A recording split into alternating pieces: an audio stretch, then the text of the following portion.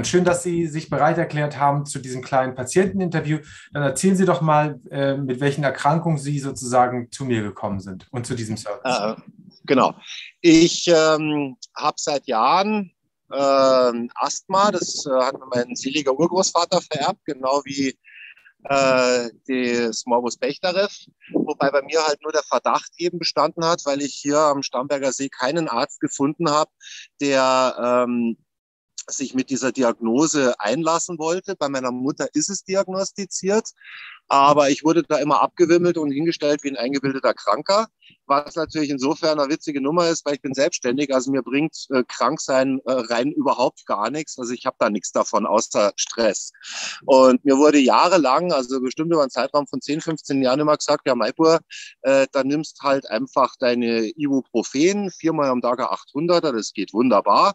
Und zwischendrin kann man dann auch noch mit Novalgin aushelfen. Und wenn es nicht schlafen kannst, das war es letztinstanzlich, weil ich konnte eigentlich nachts auch nicht mehr länger als drei, vier Stunden schlafen da hieß es dann ganz flapsig, ah ja, Mai, da gibt's dann halt noch irgendwie Valium oder gutes Schmerzmittel und äh, das passt dann schon. Und dann ging es dann bei mir halt los mit Bluthochdruck und mit äh, Verdauungsstörungen und Magenschmerzen, also alles schon richtig chronisch. Und dann habe ich mich halt quasi ans Ende des Internets recherchiert und bin dann beim Herrn Dr. Salomon rausgekommen. Und äh, da hatte ich dann das erste Mal quasi ein offenes Ohr. Und seitdem habe ich jetzt seit, seit 17. Februar habe ich eine Cannabis-Medikation. Ähm, ich reagiere auf äh, Cannabis sehr, sehr stark. Soll heißen, ich mache mir dann abends meinen Verdampfer, mache da so meine paar Bröckelchen rein, ziehe da zwischen fünf und zehn Mal dran und dann dauert es noch mei, vielleicht zehn Minuten, Viertelstunde und dann kann ich schlafen. Und zwar erstmalig seit Jahren wieder länger als äh, eben vier Stunden. Äh, mein Rekord war jetzt mal, dass ich mal zehn Stunden geschlafen habe und ich bin in der Früh aufgestanden und habe mich gefühlt wie neu geboren. Seit zwei Monaten nehme ich keine Blutdruckmedikamente mehr, äh, mit dem Einverständnis von meinem Heilpraktiker. Die Werte sind genau wie zu der Zeit, als ich die Blutdruckmedikamente genommen habe. Und mein Wohlbefinden wird quasi äh, von Tag zu Tag einfach besser. Wow, das ist jetzt eine sehr beeindruckende und tolle, to toller Patientenverlauf. Äh, was würden Sie denn sagen, sind so die Nachteile gewesen durch die Cannabis-Medikation? Ne? Wenn jetzt so Patienten das hier sehen, die, die, die damit ähm, überlegen, ob Cannabis was für sie sein könnte oder die das überhaupt noch nie gehört haben oder sich gar nicht vorstellen können. Wie sind denn die Rauschzustände und die Nebenwirkungen? Gab es da sowas auch? Äh, da gibt es eine wichtige Geschichte. Also meine Frau schaut sich, äh, wenn dieses unsägliche Germany's Next Top Model Format läuft, das schaut sich meine Frau dann immer ganz gerne donnerstags an. Und das habe ich dann an dem Tag, wo ich aus der Apotheke das Cannabis geholt habe, ähm, habe ich das dann äh, äh, quasi das erste Mal benutzt, äh, völlig unbedarft, habe da ein bisschen öfters an meinem Verdampfer eben gezogen und was soll ich sagen, mir war das dann relativ wurscht mit diesem Fernsehformat. Ich habe dann nur noch gesagt, Schatzi, ich gehe jetzt ins Bett. Ähm, habe das dann auch gemacht, habe dann auch irgendwie bei der Gelegenheit festgestellt, die Erde dreht sich und habe mich dann ins Bett gelegt und habe mal einen Fuß rausgehängt zum Bremsen. Das war aber das erste Mal und dann habe ich mich äh, dann das nächste Mal, also am nächsten Tag habe ich dann halt äh, nur noch ein Viertel davon genommen und habe mich dann halt langsam jetzt halt daran getastet, dass ich mich da halt eingewöhnt habe. Aber ansonsten muss ich wirklich sagen, ich habe keinerlei negative Erfahrungen gemacht. Vielleicht nur das eine, durch den Wegfall dieser ganzen schulmedizinischen Medikamente äh, hatte ich dann natürlich auch erstmal alle möglichen Zustände. Ich habe geschwitzt, ich habe ähm, äh, wie soll ich sagen, auch da wieder Verdauungsstörungen gekriegt, auch ein bisschen Hautprobleme. Und da habe ich mich dann mit meinem Heilpraktiker kurz geschlossen und der hat dann gemeint, ja, Uli, das ist ganz klar, du hast das Zeug seit Jahren genommen, dein Körper reagiert jetzt äh, quasi auch wie so eine Art Entzug, äh, da musst du jetzt einfach durch. Aber ansonsten eigentlich auf der ganzen Linie positiv, weil ich natürlich das Zeug nicht tagsüber konsumiere, weil ich einfach einen verantwortungsvollen Job habe und ich denke mal, es reicht mir, wenn ich nachts schlafen kann. Und ich habe auch keinerlei Intention, da irgendwie einen Rauschzustand herbeizuführen. Und äh, ja, ich schlafe einfach gut. Das ist alles. Ansonsten habe ich bei meinem Leben nichts umgestellt. Ich fahre noch äh, jeden Tag regelmäßig zu meinem Pferd und kümmere mich. Äh, ich habe auch ernährungsmäßig nichts umgestellt. Aber durch den Wegfall der schulmedizinischen Medikamente habe ich jetzt auch insgesamt acht Kilo äh, Gewicht verloren. Und äh, das fühlt sich auch gut an. Also ich fühle mich nicht mehr so aufgeschwemmt und habe halt auch kein Wasser mehr in, in Gelenken. Wow, also total großartig. Bei hat sich richtig viel bewegt. Ja, Ja. Und was ich halt faszinierend finde, also das Erstrezept, was Sie mir geschrieben haben, es waren äh, halt 10 Gramm. Das habe ich explizit am 17. Februar aus der Apotheke abgeholt. Jetzt haben wir heute, äh, ja, äh, Anfang Juli. Und äh, ich habe von den 10 Gramm, habe ich bestimmt immer noch zweieinhalb Gramm zu Hause. Also ich habe da wirklich sehr, sehr wenig verbraucht und äh, muss sagen, wir haben auf der ganzen Linie gewonnen eigentlich. Wow. Also ich finde es total klasse, total, ähm, total, also es freut mich auch als Alternativmediziner und als Schulmediziner auch. Also ich, ich, ich äh, vertrete ja so eine Sonderrolle. Ich äh, finde ja, ja. Beides, ja beides großartig. Und ähm, mich freut das immer, wenn Sie diese schweren schulmedizinischen Medikamente weglassen können. Ne? Wir geben die auch total ungerne. Wir geben die halt nur da, wo es notwendig ist. Und da habe ich noch eine Frage wegen der Nebenwirkungen, haben Sie gesagt. Sie haben ja lange Beta-Blocker genommen und von denen ist ja bekannt, dass die, wenn man die abrupt absetzt von jetzt auf gleich, dass die ganz schön, äh, ja, also wie soll man sagen, dass man das nicht machen sollte, weil der Körper sich erst entwöhnen muss. Haben Sie das abrupt abgesetzt oder? Nee, ich habe mich, hab mich da schon, bevor wir äh, äh unser Erstgespräch hatten, habe ich mich schon über die Anweisung von meinem Hausarzt hinweggesetzt und habe dann statt, äh, äh, also der hat mir ursprünglich zweimal am Tag 10 Milligramm Beta-Blocker verschrieben gehabt. Und ich habe mir dann gedacht, so, ey, da bist du eigentlich noch zu jung für diese Medikation. Habe dann zweimal am Tag 5 Milligramm genommen und da war es mir die ganze Zeit immer irgendwie so dröselig und immer Kopfschmerzen und sowas und eben diese starke Gewichtszunahme. Und dann habe ich das auf einmal am Tag fünf Milligramm runtergesetzt, ohne ihn zu fragen. Ich weiß, das sollte man nicht tun. Kam damit einigermaßen zurecht. Und bevor ich es abgesetzt habe, habe ich über einen Zeitraum von ungefähr einem Jahr in der Früh nur noch zweieinhalb Milligramm genommen. Und dann habe ich es halt einfach, äh, habe ich es halt einfach abgesetzt. Also ich habe es schon in irgendeiner Art und Weise auch ausgeschlichen, weil ich einfach die Ursprungsmedikation einfach viel zu hoch fand. Äh, äh, allein schon deswegen, weil der Blutdruck ja nicht so hoch war oder so gefährlich, wie es äh, ursprünglich der Arzt halt hingestellt hat. Also ich hatte zu Beginn, wo der Beta-Blocker, wo er mir den verschrieben hat, war der untere Wert, Moment, jetzt ist es gerade hier weg. Jetzt, ähm, war der untere Wert Blutdruck immer so um die 100 und der obere Wert immer um die 170.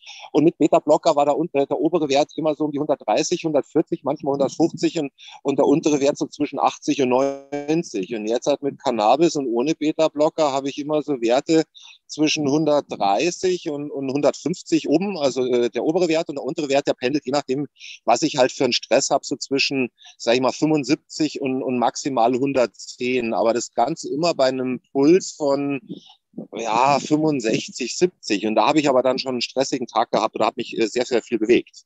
Also ich sehe da jetzt halt keinen, äh, äh, ja, wie soll ich sagen, finde es jetzt ohne Beta-Blocker mit Cannabis abends rauchen und gut schlafen. Äh, wenn ich den Wert mit Beta-Blockern vergleiche, muss man auch hier sagen, auf der ganzen Linie gewonnen. Ne? Super.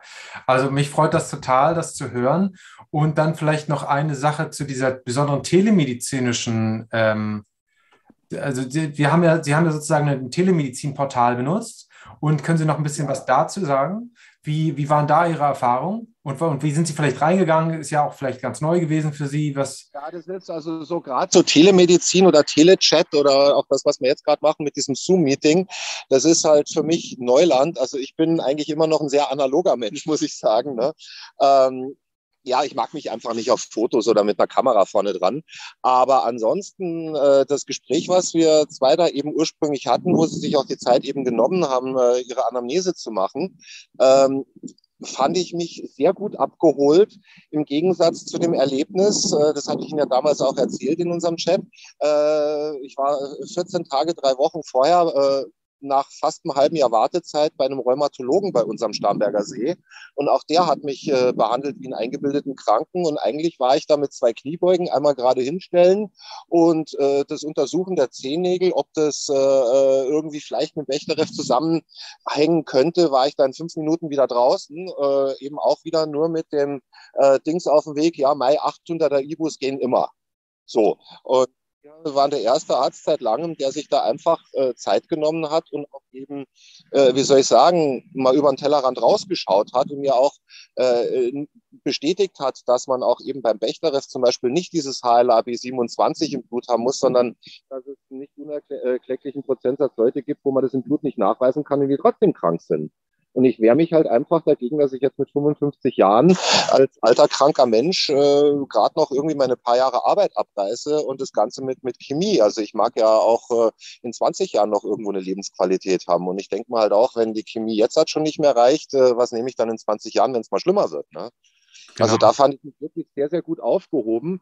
Und es macht keinen Unterschied, ob man telefoniert oder sich auf dem Handy äh, halt ein bewegtes Bildchen anschaut, ob oder ob man irgendwo zum Doktor geht und, und sich das da halt dann anschauen muss. Also das ist völlig egal. Ich meine, das ist das ist Zeichen der Zeit. Wir haben jetzt diese digitalen Medien und wenn jetzt nicht gerade irgendwo ein offener Knochenbruch da ist oder, oder irgendwas zum Einrenken ist, finde ich, ist so ein Anruf äh, besser. Und man kann auch zu Corona stehen, wie man will, aber auch hier finde ich, man muss nicht wegen jedem Schmarrn irgendwie in eine Arztpraxis gehen und seine Bazillen verteilen.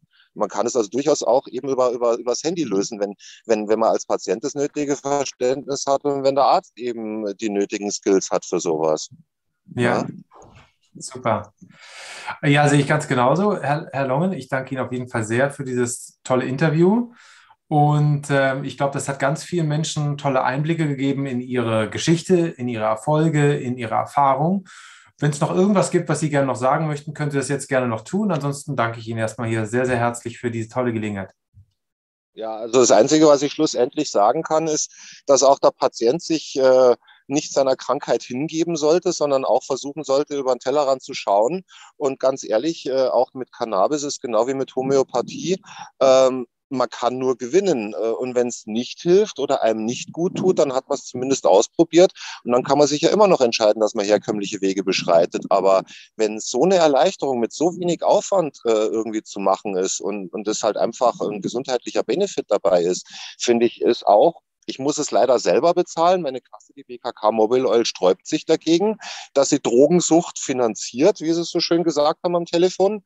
Ähm, also wenn die Kasse es nicht zahlt, ich meine, äh, dann muss man es halt selber zahlen, aber es ist ein Investment in die Zukunft und, und da sollte jeder Patient einfach zumindest mal ausprobiert haben, damit er sagen kann, okay, ist was für mich oder ist nichts für mich, weil nur Parolen weitergeben, die halt ganz klar gegen Zulassung von Cannabis zielen, das finde ich äh, persönlich jetzt halt irgendwie nicht ganz äh, zielführend einfach, ne? Weil es wird ja auf der anderen Seite, wenn ich schaue, meine Mutter, der hat der Arzt vier Tilidin am Tag verordnet, das ist ein Opiat, äh, das ist dann auf einmal okay. Aber wenn man jetzt halt ein paar Züge aus dem Verdampfer nimmt, dann ist man gleich ein Verbrecher. Und ich finde, da besteht auch von Seiten der Ärzteschaft einfach wirklich, wirklich Handlungsbedarf. Ne? Dass man nicht so leichtfertig mit richtig harten Medikamenten umgeht, wenn es anders auch funktionieren kann. Ja, da stimme ich Ihnen auch zu. Also genau aus diesem Grund ähm, wollen wir auch immer diese Patientenberichte filmen, weil wir wirklich sehen, dass Ärzte, also meine Kolleginnen und Kollegen einfach aus meiner Sicht viel zu schlecht informiert sind über die Alternativen und äh, das ist ein wunder wunderbares Medikament, ähm, ja, was man immer im Hinterkopf behalten sollte, auf jeden Fall. Genau, so sehe ich das auch. Also ich bin froh, dass wir uns kennengelernt haben und dass ich eben halt das auch legal eben ausprobieren durfte. Ne?